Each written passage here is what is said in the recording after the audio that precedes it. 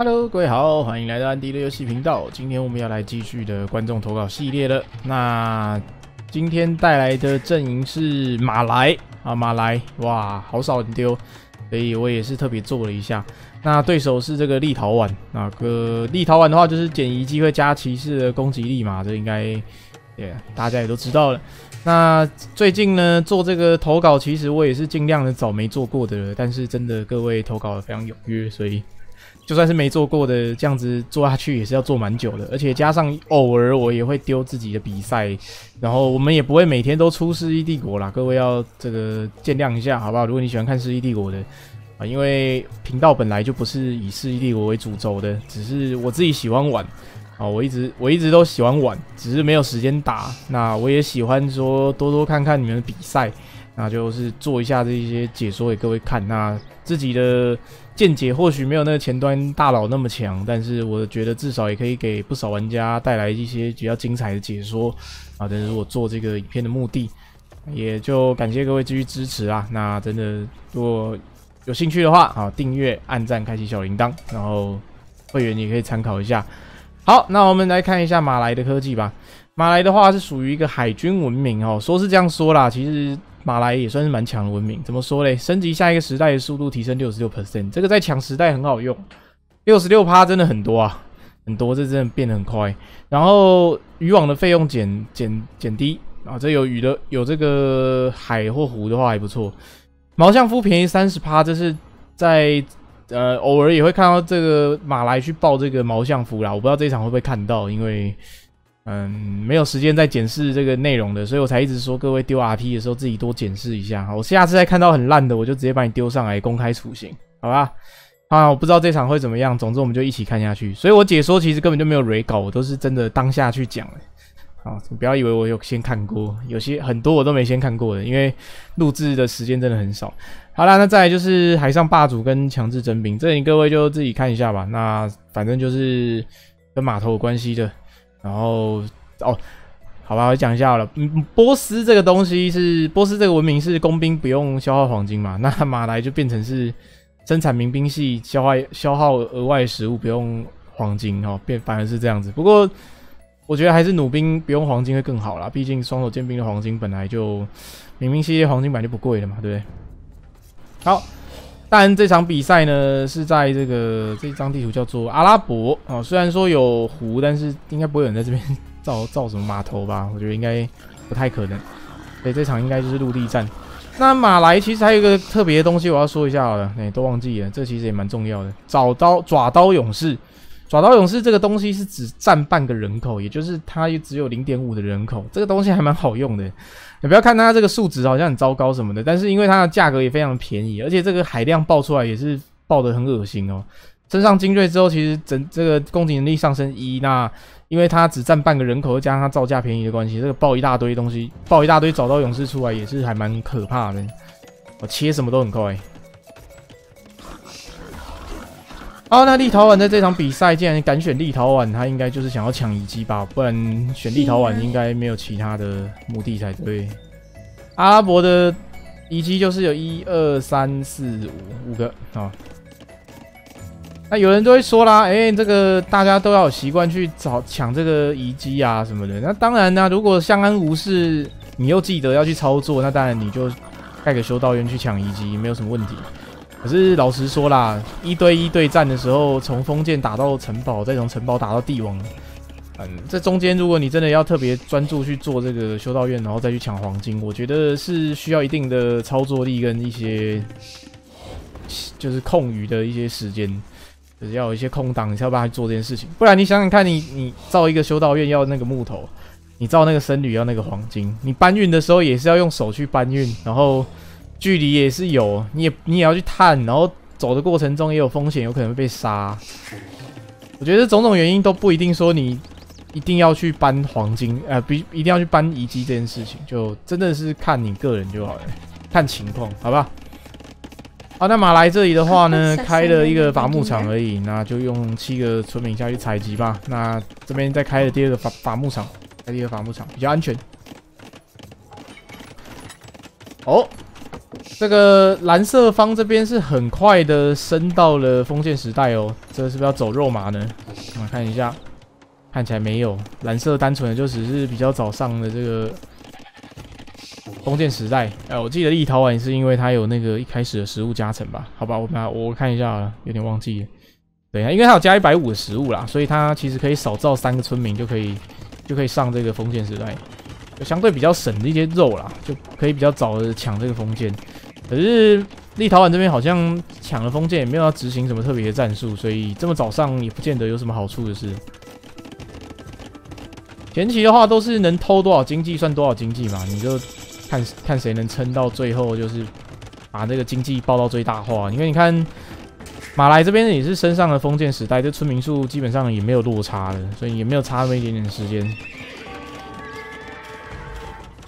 OK，刚刚没看到这里哈。立陶宛在装甲塔，不是装甲塔，就直接插塔攻击。那马来这边的话，看起来没有特别的想法，好像就是想要直接升城堡的感觉。因为这边黄金是配下去的，然后马就升了，感觉要走什么？好像不是走肉马嘛。我这里立陶宛还在哦，装甲塔，而且是直接拍在人家脸上的那种装甲塔，就是 把军营罩在这边，直接出装甲，哇！所以说，刚刚立陶宛先升级，其实要打这个插塔战术哦。那我没有看到，嗯，不过这个塔好像插在这边，好像就也还好，不是特别的有用啊。而且你看这样绕一大圈过来，还要这边盖这个箭塔。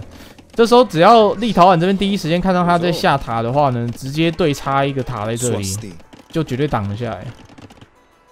可是立陶宛好像又没有要直接盖塔的感觉，就是一直在敌人家里的外面去盖这个。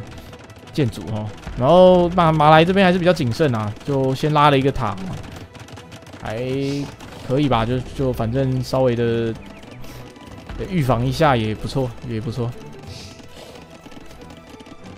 两边的村民数目前都是三十三的，那经济上应该也不会差别太多，就看自己的经济配比是怎么样子。马来这边应该也是准备，两边应该感觉都要。攀城堡吧，但是其实我看立陶宛有可能要出工兵哦。对，因为他开始升那个工兵的防御了，然后这边也是直接拉了一个四个工兵弓箭手。但那但是其实还是要讲一下，啊，一个弓箭厂造出的弓箭手数量真的是有限哦。哇，这一马来直接直接低调强冲出去，这一波这一波有点有点脑冲了吧？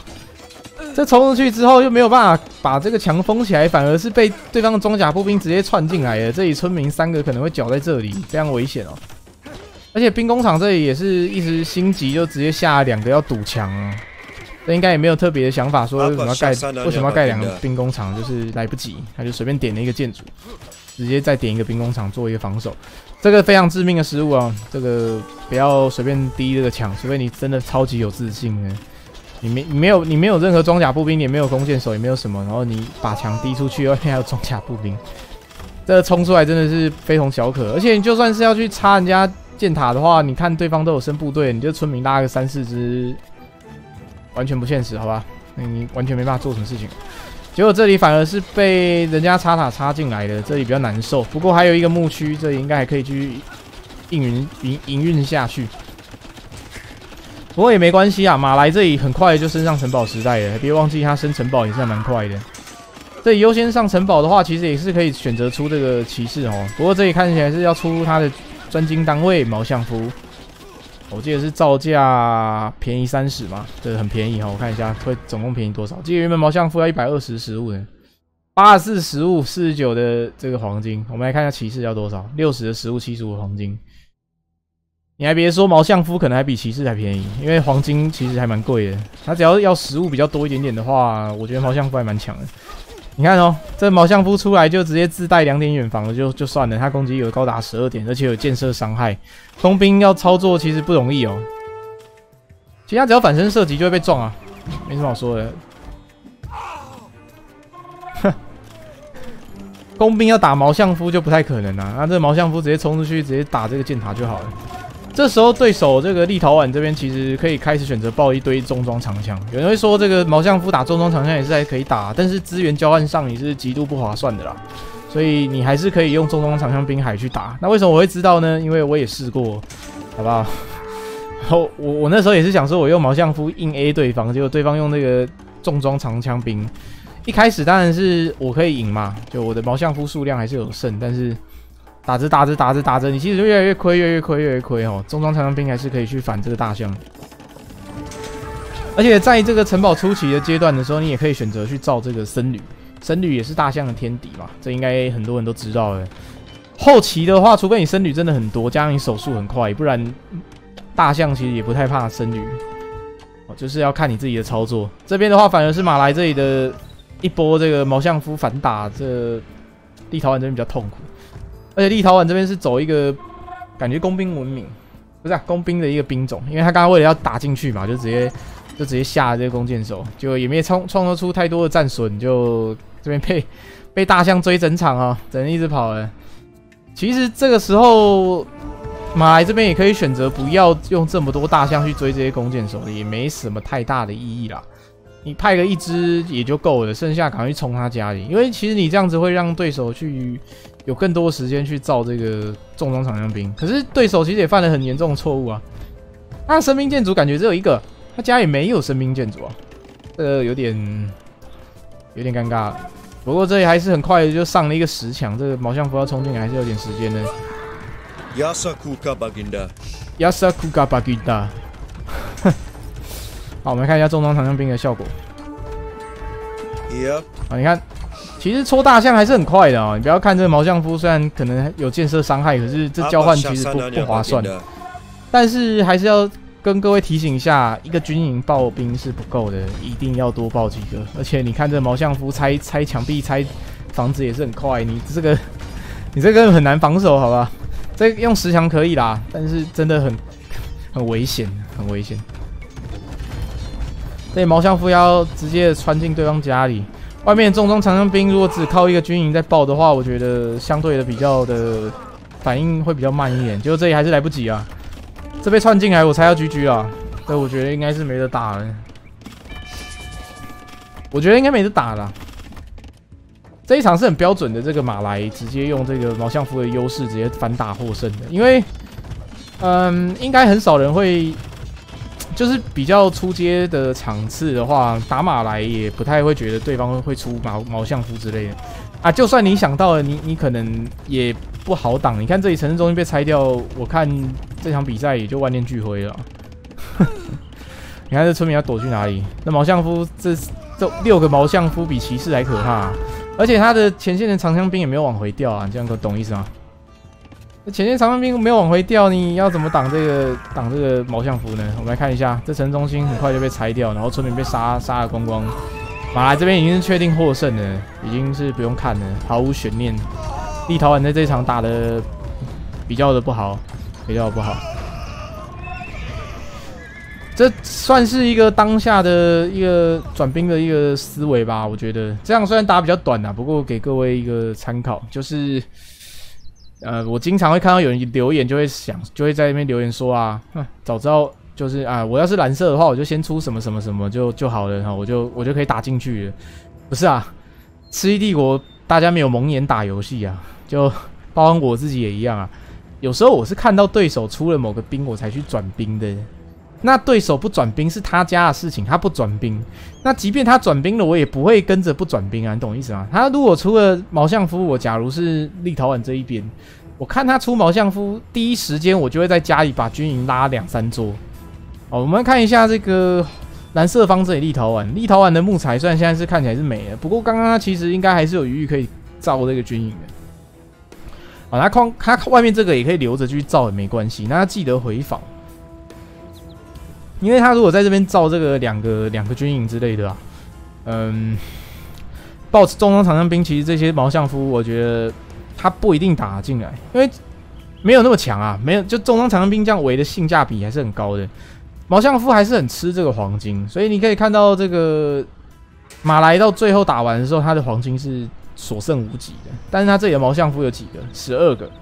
你光这些毛相夫，包包含你刚刚在这边杀死的那些毛相夫，你如果再爆成更多的重装长枪兵，而且这边又可能是窄口的情况下，你是有办法守住这个毛相夫的。那一旦你守住这个毛相夫，你把经济再撑上去之后呢，马来就绝对会输啊！为什么？因为毛相夫太贵了，毛相夫太贵，它这个出法的话会让它的食物跟呃黄金都会用的很快，尤其是黄金啊，黄金也会用的很快，然后食物也会用的很快，就跟爆骑士是一个道理。你如果没有办法把骑士战力保存下去的话，你要是在城堡时代就把你骑士海给送掉，那你要再打下去就比较艰辛。而且马来这里是直接单 T 单 T C 在爆兵，所以就代表说还没有浪费其他的资源在其他地方。然后立陶宛这边也是单 T C，但是它的兵量却非常的少，主要还是他一开始造的这些工兵其实没有发挥到任何的作用。嗯，好了，这一场反正就是这样子。我相信这边看到看到这边又有一堆人开始，呃，我我要是他又会怎样？我要是他又怎样呢？我觉得。没有意义了，好不好？如果你真的觉得你打的很好，欢迎多多投稿，欢迎多多投稿，或者是你就把你分数打上去，其实大家就听你的。C D 我就是一个很现实的游戏，就是分数就是一切，好吧？比我高分数的人讲，我也是只能听，对不对？因为我打不赢嘛，你能怎么样呢？好啦，那这场比赛就跟各位带到这里了，感谢各位收看，我们就期待下次更多观众投稿系列喽。喜欢这个频道跟影片的朋友，记得按赞、订阅、分享，那我们就下次再见喽，拜拜。